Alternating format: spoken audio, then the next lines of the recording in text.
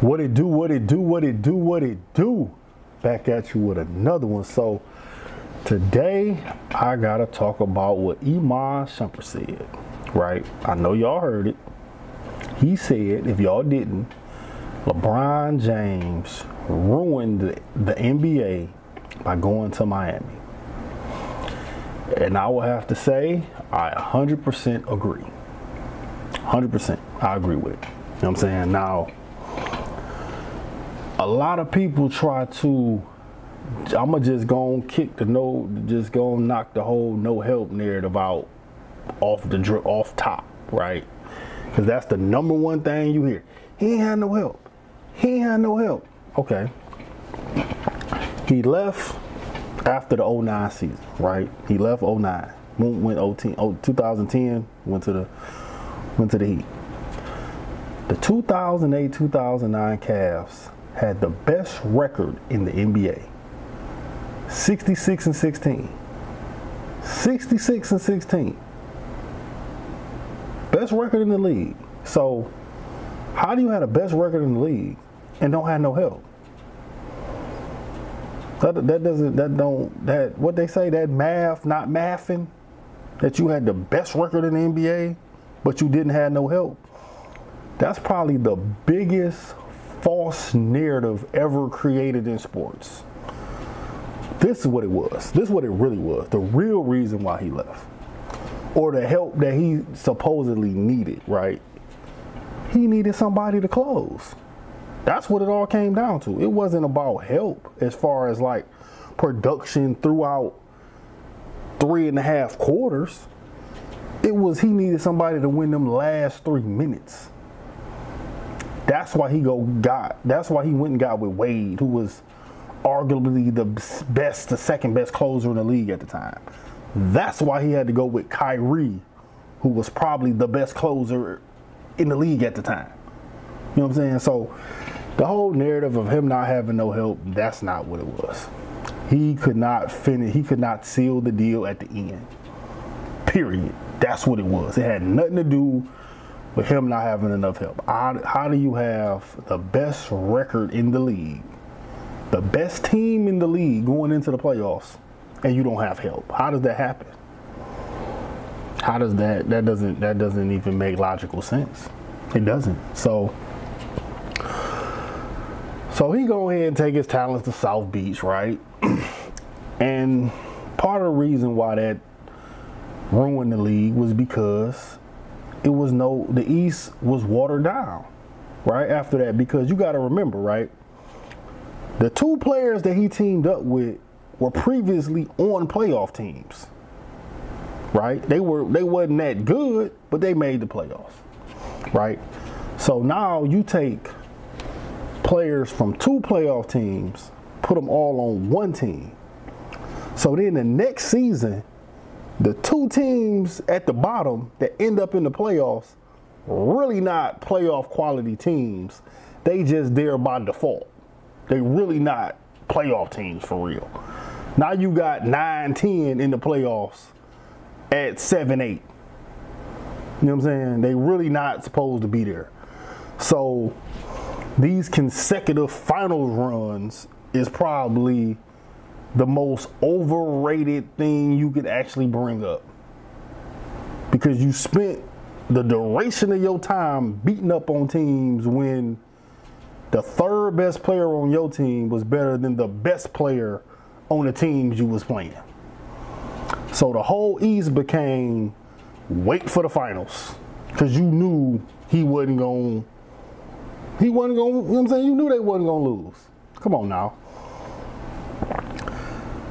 the best, another thing about the super team thing that ruined the league was you never got head to heads with his actual error, right? Because they always try to like chop and move him around. Because if you really see his error, it's really the Heat with Dwight Howard and Chris Paul. That's his error, right? He played so long that he they be trying to put him either with the Kobe era or they be trying to move him with Stephen Durant. No. Your era was Dwight, Bosh, you, Chris Paul, Wade, Melo. That's your era. And I only didn't put Melo in there originally because small forward, Bron was the best small forward of the era. You know what I'm saying? That was your era. You had no head to heads with none of them except Dwight, and you got whooped. You know what I'm saying? That's what you want to see, right? So, yeah, that, that whole no no help nonsense, nonsense. So, when the playoffs come around, it's like, dude, y'all whooping on who was you? Who you was playing? Isaiah Thomas. You played. The, I think the best the best competition you had was Paul George in the East with the Heat. The best competition you had was Paul George, right? And this is the thing we like to do with when you name who people played against. You don't take into account the stage of their career they was in, right? Cause yeah, you beat Durant in the finals, but you beat Durant in the finals the same way the Spurs beat you in the finals. You beat young Durant just like the Spurs beat young you. But don't nobody bring that up. They just say, "Oh, you beat Durant. You beat Durant, Harden, and Westbrook." But you don't never mention the stage of their career they was in. Harden was a six man. He wasn't an. He wasn't MVP. Lead the league in scoring. James Harden. Okay, Westbrook was a young point guard. He wasn't Mr. Triple Double. Like, let's not ignore player progression. Because Hoopers know you can get better. You get better. You don't just, you drop, you come in the league and you just prime the day you walk in the league. That's not, that's not real. No. That's not even a thing. Like, no, it, it can happen on some phenom top but no, it's player progression. You get better as you play if you work and you put time into your game. So we never account for that when we talk about the competition that he played, right? Because even getting to the finals, the you, Paul George was your best competition, but the Paul George was like Paul George in Indiana was similar to T Mac in Orlando. We have him, we don't know what he got. We just gonna throw a young fella out there and see what we get. That's what it was, and he just happened to be good. It wasn't like he was this established star that they played up against. He made his name playing against the Heat. He wasn't established yet. You know what I'm saying? He made, that's how he kind of made his name. He Going up and he like, okay, what young fella got?